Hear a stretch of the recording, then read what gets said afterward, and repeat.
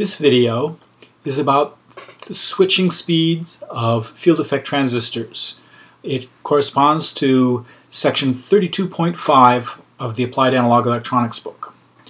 And what we're going to be looking at is what's called the gate charge model. So let's take a quick look at uh, what we want to do. I'm going to be looking at just a single low side NFET to be connected to ground. Going to have a gate control, and I'm going to put a load resistor here, just a simple resistive load. And let's put it up to 5 volts. All right, so um, what we want to look at is what's the voltage here on the drain? How fast does it change? Uh, when does it change? We're also going to be interested in looking at the current through the load. Okay. And of course the control value here is going to be the voltage on the gate.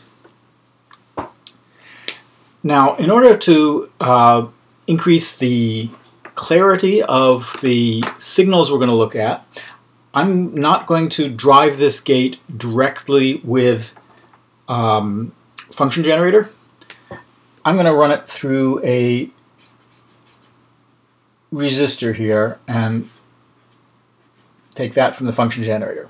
The function generator here is actually going to be a square wave or pulse between 0 volts and 5 volts. And for the load resistor, I'm going to use 100 ohms. I'm also going to put 100 ohms here. And the reason for that is to be able to see what's going on at the gate because the 100 ohms here is going to limit the amount of current I can get from the function generator and as a result the capacitor here is going to charge much more slowly than usual. Um, if I didn't put a slowing down resistor here to limit the current, um, this signal here would change very rapidly and would be hard to observe with the oscilloscopes. Um, because the oscilloscopes we're using here, the Analog Discovery 2, has a maximum sampling rate of 100 megasamples per second. So I, I want to slow things way down so I can get a nice clean signal um, and see what's happening as the gate changes. It's going to be the same sort of phenomenon that we would see in the real world without this because there's still some current limitation from whatever your source is for driving the, the uh, gate of the transistor. But I exaggerated it to get a clearer image. Okay, so let's take a look at what that gives us. So we've got 100 ohm gate and drain resistors. That's the particular NFET I was using. Um, different NFETs will, of course, have different size uh, gates, different speeds, but the phenomenon is going to be about the same no matter what. This purple line here, that is the voltage on the gate. Now, if we were thinking of the gate as just a simple capacitor, which is okay to a first approximation, we would expect to see an RC charging curve with 100 ohms and whatever the capacitance is. And so we would expect to see something that curves. This part here looks a lot like the sort of shark fin we expect to see, and this part here looks kind of like it, but there's these weird bumps that happen in the gate voltage, and we'll get into a moment where those are from. Um, those bumps actually are important for the model we're going to be looking at. A simple RC timing model is a little hard to fit to this because, quite frankly, there are other things going on. It isn't just a capacitor for the gate. One very important thing that's missing from the schematic here is that there is a parasitic capacitance between the gate and the drain. That's known as the Miller capacitance.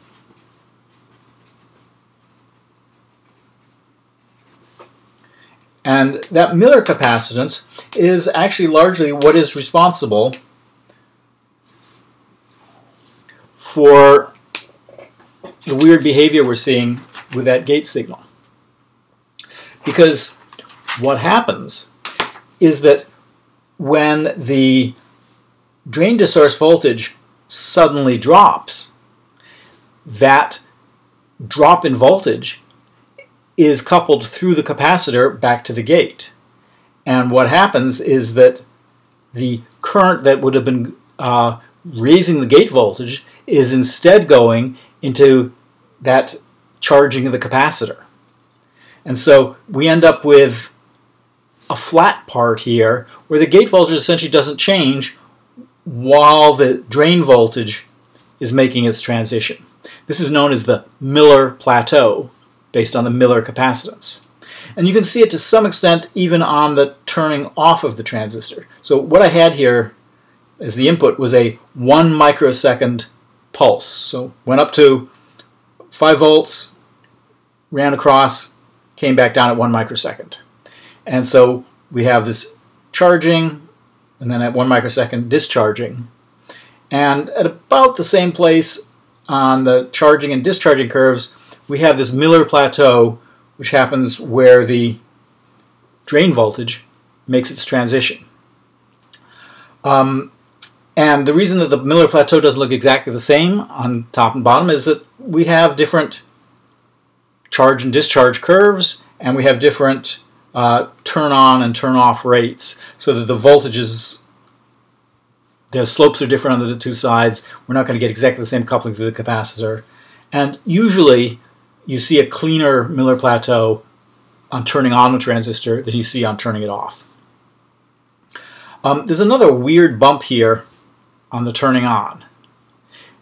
That is due to when the transistor is off, which is what we're starting in down here with the gate at zero volts, when we start the, trans the gate voltage rising, but haven't turned on the transistor yet, we have capacitive coupling to the drain. And so that rising voltage here causes a rising voltage on the drain, which we see as a negative current through the load. We're raising the voltage above the 5 volts that's on the other side of that resistor. So we have this little bump going the wrong way.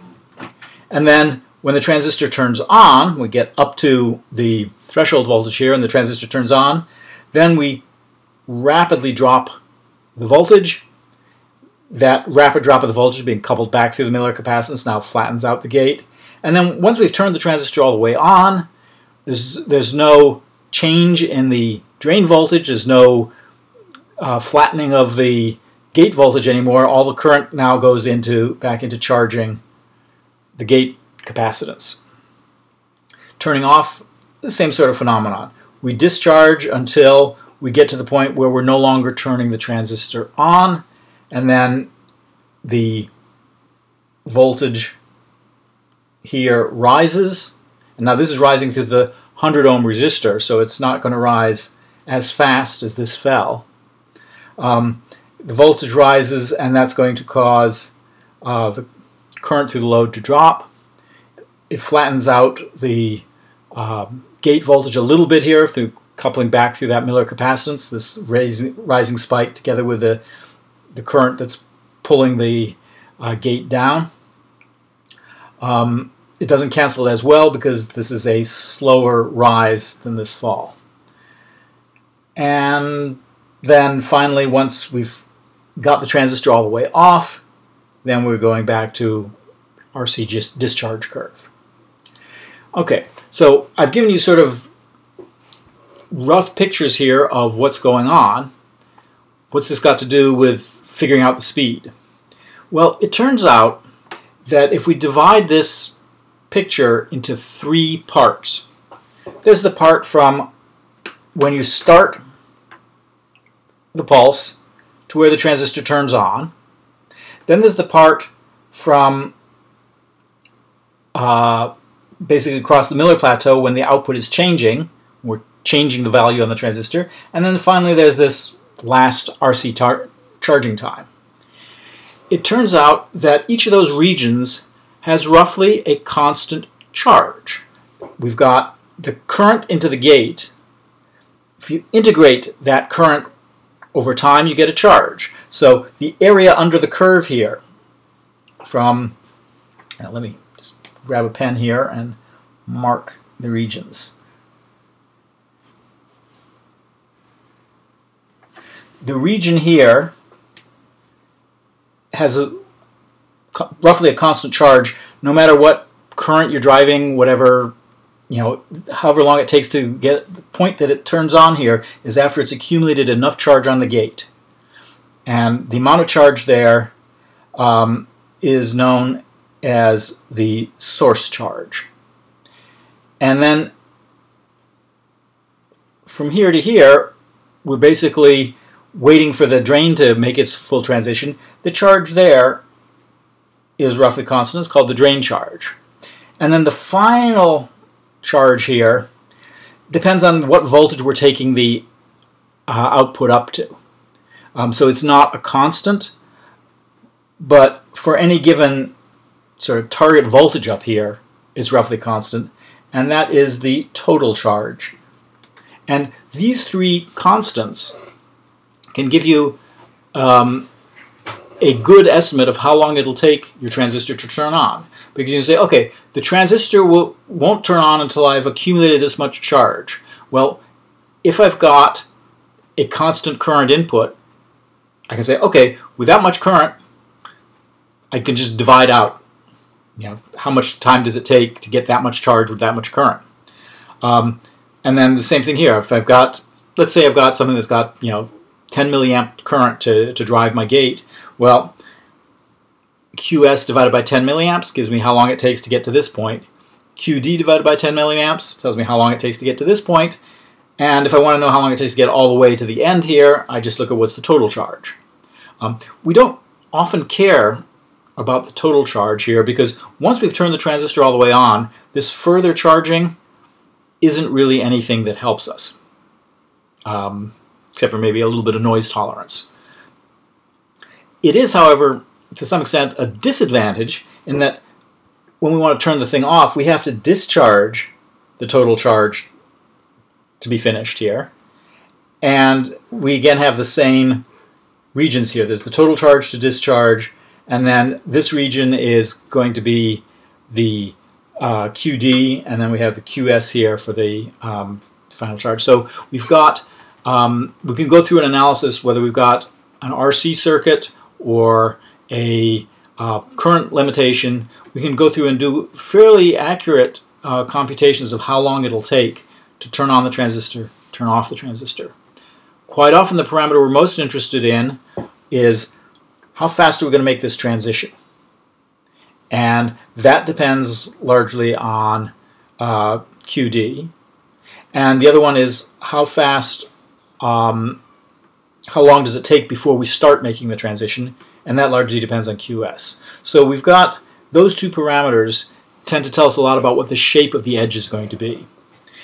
Here, because our turning off the rising time of the output depended here mainly on uh, that 100 ohm resistor that we were using as a load, it's not quite as dependent on QD. If we've got a situation where uh, this has got a very very small resistance, so a very um, high current situation, that might no longer be the main limitation on um, how fast the transition happens is, is, the RC timing of that load. Um, it may depend more on the characteristics of the transistor itself. Um, it'll be useful for you to actually build a circuit very similar to the one that I have here. You don't have to add a capacitor here. That's the Miller capacitance that's built into the transistor itself, inherent in there being a field effect transistor. Um, and just try doing a measurement like this to see what sort of characteristics your transistor has. You should be able to, um, by slowing down the, the uh, charging of the gate capacitance here, you should be able to get a pretty clean Miller plateau and uh, plot how fast your transistor turns on. And you can find these um, source and drain charges and the total charge for some usually fairly large voltage on the gate um, on data sheets for your transistors. So you don't have to necessarily measure them yourself. You can get them from the data sheet and do some, some quick back of the envelope calculations if I drive this thing with a, you know, something that's limited to 10 milliamps, how long will it take to turn on? And if that's too long, then you know 10 milliamp driver is not going to be powerful enough. I need to put in a more powerful driver in order to switch this transistor as fast as I need to. So the um, looking at sort of particularly QD, the, the drain capacitance, or the drain charge here, and um, the current that you can provide from your driver is a really good way of sizing your driver to make sure that you've gonna you're going to be able to switch your transistors fast enough. And that's really about it for the gate charge model. Um, have fun with it.